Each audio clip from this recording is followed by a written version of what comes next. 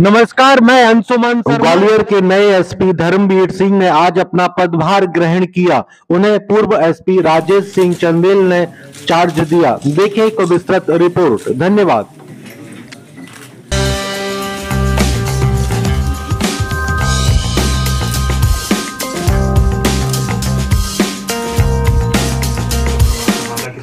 देखिए अभी चार्ज लिया है।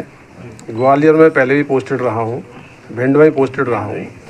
यहाँ की जो मेन प्राथमिकताएँ रहती हैं, वो क्राइम कंट्रोल एक बड़ी चुनौती रहती है। तो ग्वालियर ज़िले की कानून व्यवस्था और यहाँ का क्राइम कंट्रोल हमारी प्राथमिकता पर रहेगा।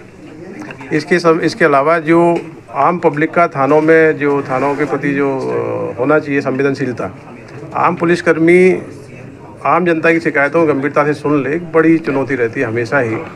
तो पुलिसिंग को हम उस पैटर्न पर ले जाना चाहेंगे जिसमें कि आम पब्लिक अपनी ग्रीवांस को लेकर जाए तो वो एक उनका व्यवहारिक संवेदनशील हो उनकी सुनवाई भी हो जाए।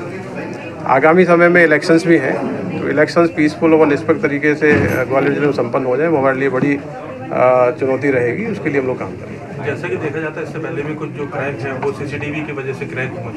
देखिए आज के समय सीसीटीवी सीसीटीवी एक बड़ा टूल है सीसीटीवी में कैसे जो स्टेक होल्डर्स हैं, जो बड़े कॉलोनीज़ हैं, जो बड़े मार्केट्स हैं, उन सभी को इन्वॉल्व करके एक ही प्लेटफॉर्म पर लाना पड़ेगा। जो अर्बन बॉडीज़ हैं अर्बन बॉडीज़ का जो बजट है उस बजट का भी एक हिस्सा सीसीटीवी में इंस्टॉल होना चाहिए, क्योंकि आज के समय में एक सुरक्षित शहर या सुरक्षित इन्वायरमेंट देने के लिए सीसीटीवी बहुत ही उपयोगी साबित हो रहे हैं।